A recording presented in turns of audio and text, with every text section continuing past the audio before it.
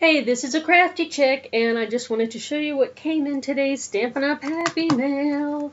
Okay, so first, got these tassels, and these are on sale right now. Go to my site and click on clearance, and you can find these for a fraction of the price. They are just called mini tassels. They're silver and black and some Wink of Stella. This is regular, and we also have gold. So that's pretty cool. Same price. Actually, this is less than what I paid at a large department store, or craft store rather. Watercolor pencils. This is what uh, one of my customers ordered. I love these. I use these on so many projects. You know, it's these aren't just pencils. They're called watercolor pencils because after you color them, if you want this to look uh, like watercolor, but you don't have any paint, you just add tiny, tiny bit of water with a damp brush and it turns into watercolor. So cool. I'll have to show you how those work. Oh, these are cute. Party animal embellishments. These are also on clearance. Um, I can't open them because it client ordered these, but definitely cute. Um, look on the clearance list. They are little party favors, um, balloons. Let's see, can we see them? Um, oh, hats, stuff like that. And they're metal, as you can hear. They're pretty significant.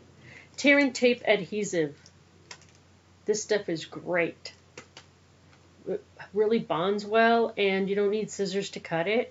And when you tear it off, it doesn't stretch or tear at an odd angle. You can just rip it easy, and it rips clean. And liquid multi glue Tombow. Hey, if you have a problem with your glimmery paper or glitter paper sticking to anything in, a, in one of your crafting projects because I love to use glittery things. The glittery er the better. and I can't find anything that works. This works. Trust me. You can get that through Stampin' Up! too. Okay, next. Oh, birthday banners. This one's mine. Um, I've had my eye on this one for a while. Um, I actually do have a machine, a cutting machine, but I just couldn't get this effect without a stamp. So this is almost pretty much what I bought it for. And this, so my next move I think is to go ahead and get the um, banner punch to go with it. So Awesome. And then uh, let's go to the stamps and then we'll go to the paper. I mean the ink. So real red. Got that for Christmas. Yes, yes, yes. I have a nice green, but I needed a red. And this is what one of my customers got. And these names make me hungry. Chocolate chip and pumpkin pie. These are perfect for autumn and Christmas. I mean autumn and Halloween. Oh, those I love the names of those, but they make me hungry. And speaking of Christmas, yay! There's some Christmas um, washi tape. Um, this particular one is also on the clearance list. So if you want to see what it looks like, those are the designs. And I'm not going to open this right now because I have someone I'm going to give that to.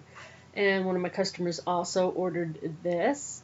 This is the Dijon, Delightful Dijon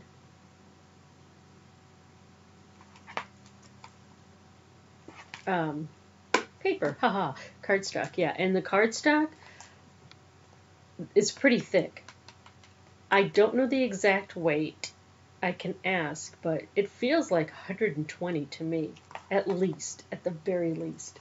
This is sturdy cardstock. Nice. And this is Cupcakes and Carousels. This is my all-time favorite paper. I don't know why, but I just love it. So it's double-sided and it's very fun. I love to use this on not just birthdays, but any cards. And this is really good if you like to do um, shabby chic. This is really great paper. So yeah, and then like I said, it's double-sided, so you can mix and match, which is the whole theme of Stampin' Up! Mix and match and build. So absolutely, oh, I love those little carousel horses, and it's so old-fashioned. I love that.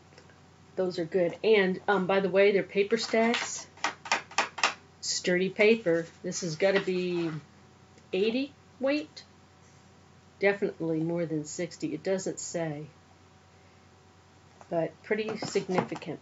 Um, this one, Sending Love Designer Series paper. I believe this one is also on clearance. Not sure. Yeah, it is. And I believe the carousels are as, as well.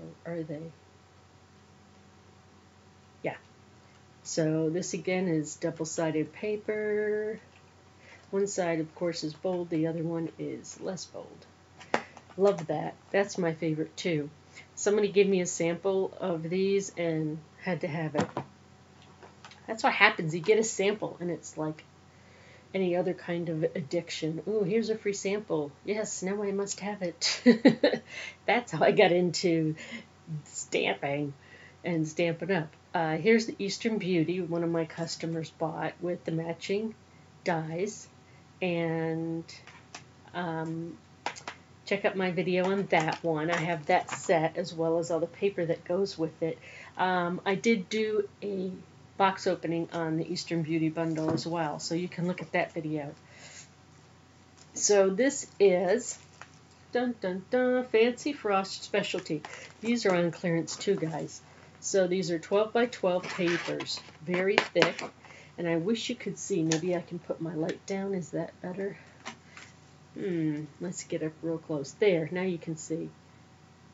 It comes pre-embossed. Hey, that is not the lazy way. People would say, oh, that's, that's lazy. No, I call it efficient because I don't want to have, sometimes when you emboss a large piece of paper, like a 12 by 12, it's really hard to line it up. Come on let's see, there it is. It's really hard to line up if it's a small embossing folder. It's hard to do it across a large piece of paper. So for certain projects, I like to have pre-embossed paper. Also, if I'm in a hurry and I want something to really pop, um, I can either do my watercolor pencils over this or take a little dauber and the ink and rub over it, instant background, and just pop a few things on it, and you have a quick card in case you run out of time. But if you're anything like me, you've got like a hundred cards just waiting to be passed out, just waiting. All right, this is Sending Love Glassine Sheets. Now I opened it so I could pull it back and show you. Isn't that lovely? You could put that on top of anything and just change your entire project. I believe they all, yep, they all have the same design, but they're this long. They're pretty long here. So you could cut this in probably in half or in probably thirds. I would cut it in thirds based on card sizes. And um, yeah, so you one and two, and then you would have so three. It comes with 10 sheets. So you cut them, you've got 30 sheets. And I think it's a couple dollars. It's on the clearance. So yeah, that is great. Oh, and this is mine. Uh, this is some Christmas paper, also on the clearance rack right now. So get it before it goes. Um, let's open this. For some reason, I did not open this. Here's a trick I use to open it is I have this, but I use it against the back cardboard and just ever so lightly go across. And then you can just kind of rub on it and it opens real easy. And it never tears your paper. And then you have a little bit of an opening that has a flap so you can always close it later and protect your paper. Use a piece of washi tape to keep it closed. It's so it's a homemade flap. Look at that, double-sided. Oh, isn't this nice? That one has stars. Nice pine cones. Ooh, I like this one. Bows. Ooh, I like this one. Both of these, too. This one with the trees. More pine cones. That's like a solid pattern and some bells. What's on the back of this one? Hmm. Mistle, not mistletoe, holly, holly. And it goes on. So you get two of each. And these are 12 by 12. And this was also a couple dollars, so why not? Okay, what else? Ooh, I forgot. So, this, the fine tip glue pen. If you have small little doodads and you want to glue them, but you don't want glue everywhere because you're doing, say, especially if you're doing a crop or, I'm sorry, a swap, a crop swap. Um, you're doing a swap and everybody's had this problem at one time or another, and some people are dealing with this right now. This is your best friend if you want to prevent. Can we get a close up, please? If you want to prevent um, getting glue, sticky glue all over your cards, okay? Look how fine of a tip that is. let's see if I can get that in there.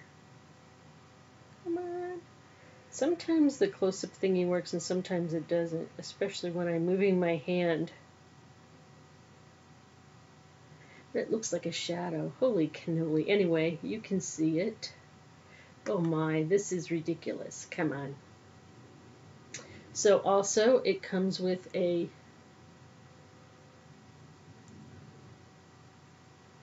needle inside the tip. Ooh, that worked.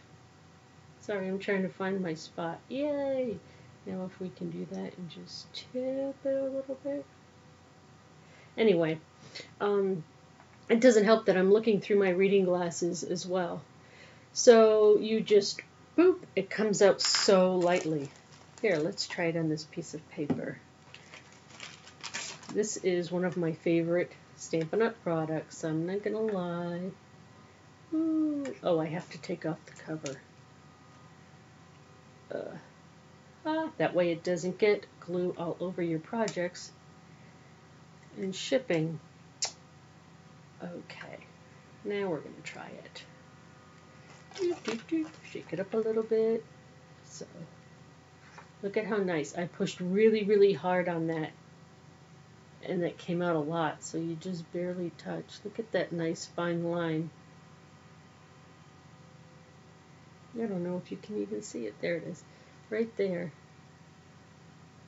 It's so small you can't even see it. And this little cap here goes right inside there on the other side. See that? Keeps it from, let's see, does it go in there? Yeah. Okay, it goes, okay, let's see if we can do this close up. It goes right in there See how easy that is? And then it doesn't get glopped up. So on my old one, I had to keep a pin in there and move it around to unclog the glue. This will not clog. You can just open it up an hour later and take it out. This pin right here will keep it from clogging. I love this product. And if I can see with uh, bad vision, cataracts, and uh, all that to put this in that quickly. Almost anybody can. I am not coordinated. I'll be the first one to say that, and I say it often, so people understand that this is what I do not difficult. Anybody could do it. Um, anyway, so yes, and I forgot mini glue dots. Uh, I didn't ever like using glue dots. So I liked them so little, I ended up going through a whole box in three weeks because I was doing major crafting swaps.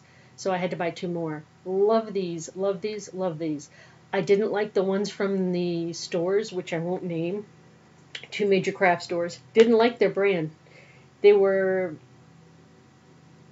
hard and thick and you could see them underneath my paper. It left like a little mound under the paper. So it was like a ripple. You could see where the glue dots were.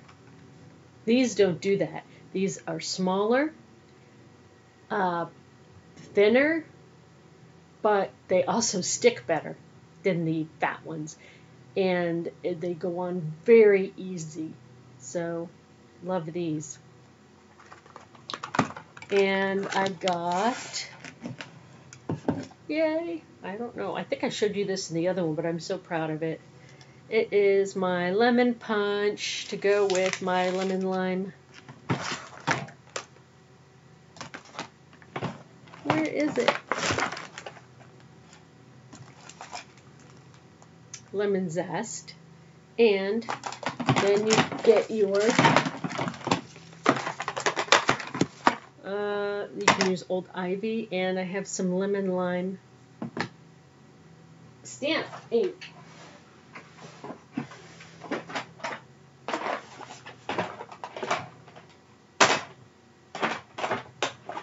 Where are you?